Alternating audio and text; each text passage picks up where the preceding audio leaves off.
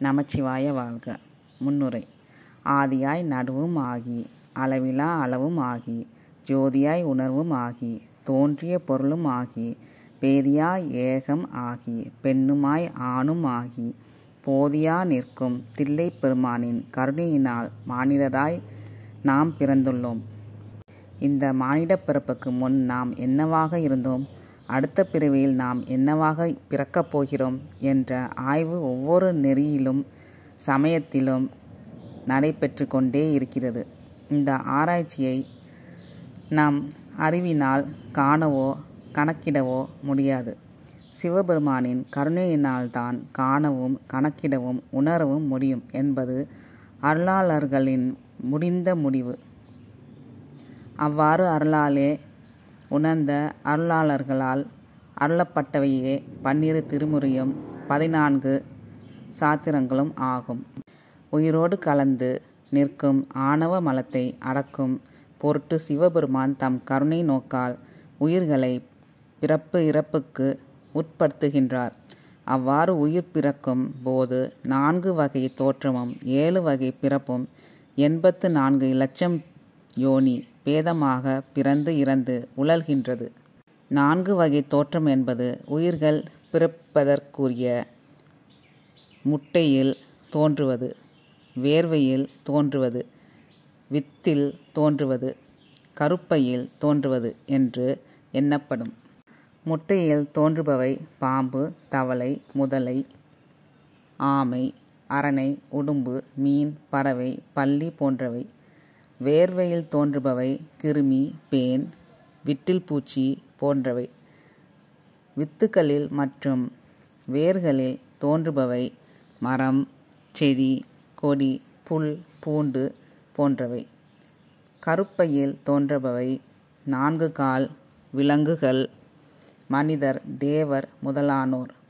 இந்த நான்கிலிருந்து தோன்றும் ஏழு வகை பிறப்பு என்பது ஒன்று தேவர் இரண்டு மனிதர் மூன்று விலங்கு நான்கு பறவை ஐந்து ஊர்வன ஆறு நீர்வாழ்வன ஏழு தாவரம் என்பன ஆகும்.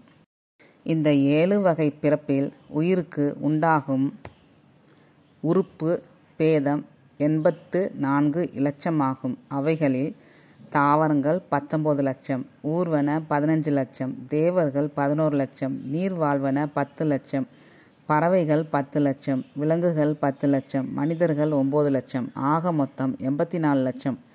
ஆக இத்துணை பிறப்புகளின் மானிட பிறப்பு பெற்றுவிட்டால் அப்பேறு கடலை கையால் நீத்தினன் காரியம் கான் என்று அருள்நந்தி சிவம் சிவஞான சித்தியாரில் குறிப்பிடுகிறார்.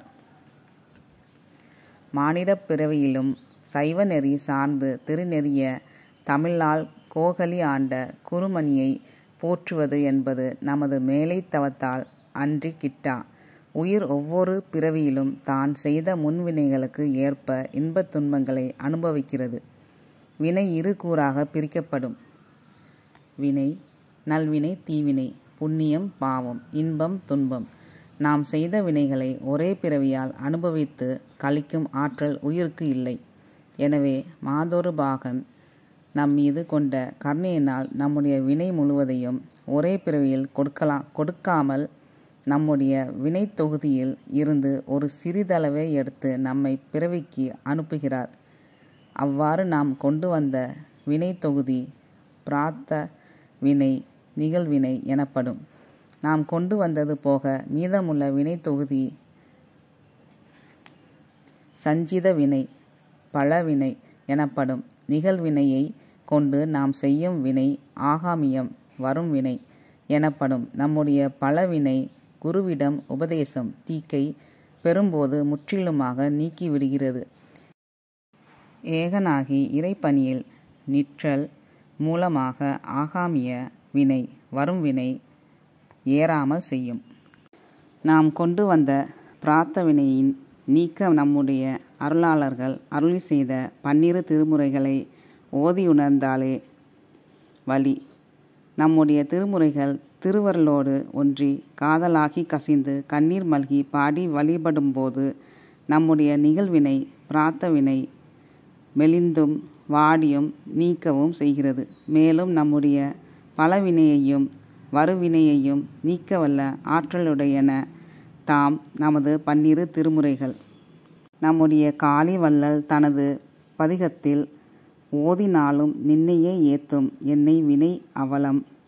வாதியாமே வந்து நல்காய் வலிவலம் மேயவனே என்று அருளி செய்திருக்கிறார். எம்பிரான் திருஞான வமுதுண்ட பிள்ளையாரின் திருப்பதிகங்கள் முழுவதிலும் பதிகத்தை பாராயணம் செய்தால் கிடைக்கும் பயன்களின் எழுபத்தி ஐந்து பெர்சன்டேஜ் சதவீதத்திற்கும் மேலாக வினை தீக்கம் நீக்கம் பற்றியே அருளியுள்ளார் என்பது குறிப்பிடத்தக்கது.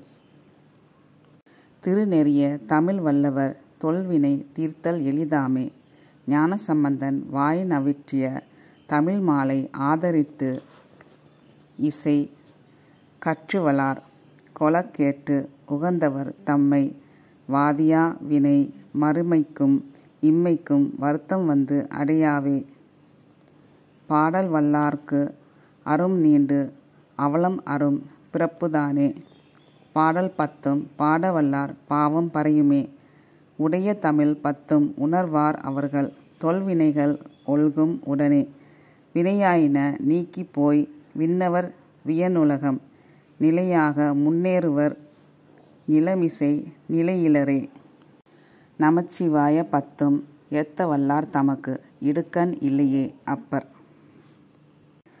நாணனை தொண்டன் ஊரன் சொல் இவை சொல்லுவார்க்கு இல்லை துன்பமே சுந்தரர். எனவே நம்முடைய துன்பத்தை நீக்க ஞானமே வடிவான பன்னிரு திருமுறைகளை அன்றி பிரித்தொன்றால் ஆகா இன்பம் வேண்டில் இராப்பகல் நின்று ஏத்துமின் என்பது அப்பர் பெருமான் திருவாக்கு. தாயின் கருப்பைக்கு நாம் வரும்போது நமக்கு முன்பே காய கருக்குழியில் காத்திருந்து நம்மை கண்ணுதல் பெருமான் கருவிலேயே ஆட்கொள்கிறார். ஆட்கொண்டதன் பயனாக நமக்கு ஊனுடம்பை கொடுத்து நம்மை கருவாக்கி உருவாக்கி உலகத்தில் உழவச் செய்துள்ளார். நம்மை கருவாக்கி உருவாக்கிய திருவுடையானை போற்றி பரவுவதே நம்முடைய நன் நன்றி கடனாகும் திருவை பரப்புவதற்கு வயது தடையில்லை. இதனை நம் திருநாவுக்கரசு சுவாமிகள் அழகாக அருளியுள்ளார். நம்முடைய பருவத்தை குழந்தை சிறுவன் வாலிபம் வாலிபம் கடந்த நிலை என நான்காக பிரித்து அந்தந்த பருவத்தில் நாம் விரும்புவனவற்றை குறிப்பிட்டு அவற்றை விட இனியவன் தன்னடைந்தார்க்கு இடைமருதனே என அருளுவதை கண்டு நாம் தெளிவுபட வேண்டும். குழந்தை விரும்பும் கனியிலும் இனியன் இடைமருதனே. சிறுவர்கள் விரும்பும் கரும்பினும் இனியன் இடைமருதனே. வாலிபர்கள் விரும்பும் கன்னியர்களையும் விட இனியன் இடைமருதனே. வாலிபம் கடந்த நிலையில் விரும்பும் பதவிகளை காட்டிலும் இனியன் தன்னடைந்தார்க்கு இடைமருதனே. ஆக கனியினும் கட்டிப்பட்ட கரும்பினும் கோதை மாறினும் ஆளும் அரசினும் இனியன் இடைமருதனே என்று அருளிச் செய்திருப்பது சித்தத்தற்குரியது. ஆக நாம் விரும்பும் நிலைகளை விட கோடி மடங்கு இன்பம் தருபவன் நமது சிவபெருமான் என்பதை நினைவிற்கொள்ள வேண்டும். நாம் இல்லறத்தில் இருந்து கொண்டே துறவியர் பெறும் வீடு பேற்றை அடைய முடியும் என்பது தமிழர் கண்ட நெறி. இக்கருத்தை நம் பட்டினத்து அடிகள் திருவிடை மருதூர் மும்மணி கோவையில் அருளிச் செய்திருக்கிறார். துறவிகள் வீடு மனைவி மக்கள் சுற்றம் துறந்து காட்டிற்கு சென்று உணவை துறந்து இலையை உண்டு காற்றை புசிப்பித்து ஐந்தெழுத்தை சொல்லி தவம் செய்து முடிவில் வீடு பேறு அடைகின்றார்கள். ஆனால் நாமோ வீட்டில் இருந்து கொண்டே அழகான மனைவி அன்பான குழந்தை அருமையான சுற்றம் தங்குவதற்கு மாளிகை ஏவம் ஏவல் செய்ய பணியாளன் என சுகமாக வாழ்கிறோம். அவ்வாறு வாழும்போது வாயிடை மறவாமல் ஐந்தெழுத்தை சொல்லி வந்தால் போதும். வீடு பெற்றை இழந் இழந்திலோம் என்று அருளியிருக்கிறார். இதற்கு உவமையாக பலசாலி ஒருவன் தன் சக்தி எல்லாவற்றையும் திரட்டி வான் நோக்கி கல்லை எறிந்தாலும் அக்கல் மிக உயரே சென்றுவிட்டு சிறிது நேரத்தில் பூமி நோக்கி விழும். அது போன்றே பலமில்லாத ஒருவன் வான் நோக்கி கல் எறிந்தாலும் சிறிது தூரமே சென்று அக்கல்லும் பூமி நோக்கியே விழும். இது போன்றுதான் துறவியானாலும் இல்லறத்தான் ஆனாலும் மறவாது ஐந்தெழுத்தை சொல்லும் ஒருவர் நிச்சயமாய் வீடு பேறு முத்தி பெறலாம் என்பது திண்ணம். வல்லான் ஒருவன் கைம் முயன்று எரியினும் மட்டா ஒருவன் வாளா எரியினும் நிலத்தின் வளா அக்கல்லே போல நலத்தின் வளார். நின் நாமம் நவின்றோரே. பட்டினத்தார் அருளி செய்த பதினோராம் திருமுறை. நம்முடைய பிறப்பில் இருந்து இறைவன் திருவடியை அடையும் வரை நமக்கு ஏற்படும் இன்னல்களை நீக்க அவன் அருளாலே அவன்தாள் வணங்கி நின்று திருமுறைகளை பாடி பரவுவதை தவிர வேறு வழியில்லை. நாம் நம்முடைய தேவைகளை திருவருட்டுடை திருவருட்டுணையுடன் திருமுறைகளின் மூலம் பெற்று திருவருளை மறவாமல் அனுபவிப்பதே சிறந்த சிவம் சிவா அனுபவம் ஆகும். இவ்வுலகிற்கு தேவையான பொருளையும் அருள் உலகிற்கு தேவையான அருளையும் ஒரு சேர தருவது நமது திருமுறைகள் ஒன்றே என்பது திண்ணம். கருவாகி பின் உருவாகி பிறவியில் உழன்று கொண்டிருக்கும் நாம் மீண்டும் கருவாகாமல் உருவாகாமல் இருக்க ஒரே வழிதான் உண்டு. அது அறமார் புனல் தில்லை அம்பலத்தே ஆடுவான் மலர் சிலம்படி வாழ்த்தி வணங்குதலே ஆகும். நள்ளிருளில் நட்டம் பயின்றாடும் நாதனை வாழ்த்தவும் வணங்கவும் அவர் நமக்கு தந்த அருட்கொடையே திருமுறைகள். ஒன்பான் கோள்களால் நவக்கிரகங்களால் நட்சத்திரங்களால் திசை தெய்வங்களால் காலனால் யமனால் காமனால் கொடு நோய்களால் பூதங்களால் யானை பாம்பு தேள்களால் வாதத்தால் பித்தத்தால் ஏற்படும் கேடுகளை நீக்க வல்லவன் நமது பன்னிரு திருமுறைகள். நமது தலையில் பிரம்மன் எழுதிய தலையெழுத்தையே மாற்ற வல்லது நமது திருமுறைகள். கருவானதால் உருவான நாம் சிவபெருமானின் திருவடியை அடையும் வரை திருமுறைகளை பாடுவோம் பாடி ஆடுவோம். நின்றாலும் இருந்தாலும் கிடந்தாலும் நடந்தாலும் வென்றாலும் துயின்றாலும் விழித்தாலும் இமைத்தாலும் பன்னிரு திருமுறையே. திருமுறைகள் அன்றி வேறில்லை. திருமுறைகளே நமது வேதம் திருமுறைகளே நமது நாதம். இன்னனம் சிவ ஆ தியாகராசன் தலைவர் சிவனடியார் திருக்கூட்டம் அறக்கட்டளை பவானி. சிவன் அருள் பெற செய்ய வேண்டுவன.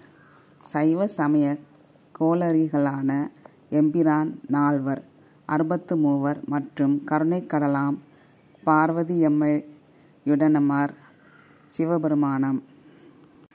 சிவன் அருள் பெற செய்ய வேண்டுவன சைவ சமய கோளரிகளான எம்பிரான் நால்வர் அறுபத்து மூவர் மற்றும் கருணைக்கடலாம் பார்வதியம்மையுடனமர் சிவபெருமான் திருவுருவப் படம். ஒவ்வொருவருடைய இல்லத்திலும் பூசை அறையில் கட்டாயம் இருக்க வேண்டும். சிவபெருமான் திருவுருவப் படம்தான் மற்ற தெய்வ படங்களுக்கு மேல் இருக்க வேண்டும்.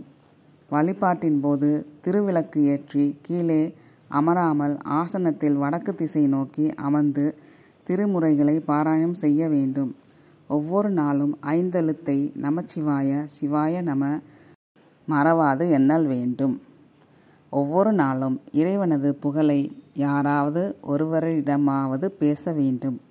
ஒரு நாளுக்கு ஒரு முறையேனும் சிவாலயத்திற்கு சிவ ஆலயத்திற்கு சென்று கட்டாயம் வழிபாடு செய்ய வேண்டும். நாம் காலையில் உணவு உண்பதற்கு முன் இறைவனுக்கு மலர் பறித்து இட்டே உண்ண வேண்டும்.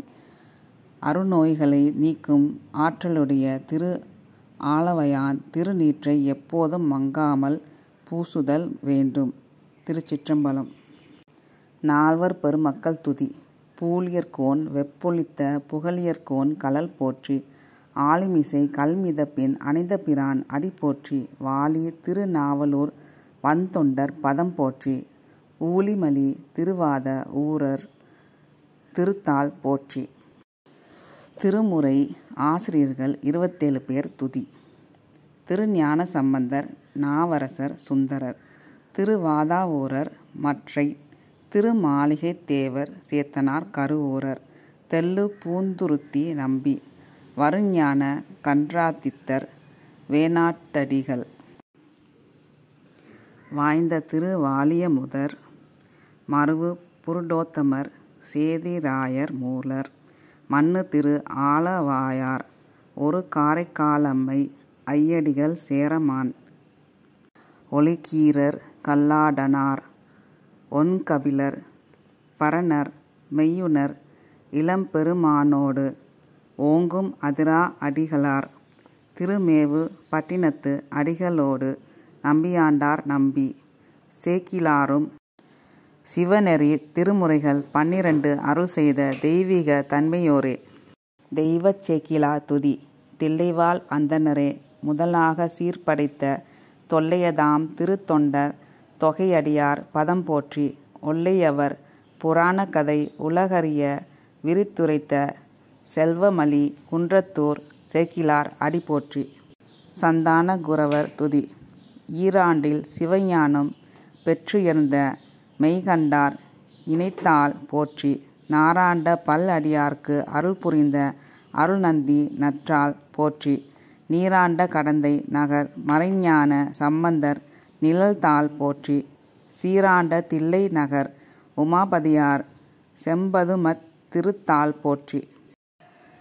திருமுறைகளின் சிறப்பு. திருமுறையே சைவநெறி கருவூலம். தென் தமிழன் தேன்பாகாகும் திருமுறையே கைலையின் கண் சிவபெருமான். செவிமடுத்த செந்தமிழ் வேதம். திருமுறையே நடராசன் கரம் வருத்த. எழுதியருள் தெய்வ நூலாம். திருமுறையே சொக்கேசன் மதிமலிவாய் மலர்ந்தருளும் சிறப்பிற்றாமால். ஐங்கர பெருமாள் துதி. பிடியதன் உருவுமை கொலமிகு கரியது. வடிகொடு தனதடி வழிபடும் அவரிடர். கடி கணபதி வர அருளினல் மிகுகொடை. வடிவினர் பயில்வழி வளமுறை இறையே. முருகப்பெருமான் துதி. அஞ்சு முகம் தோன்றின் ஆறுமுகம் தோன்றும்.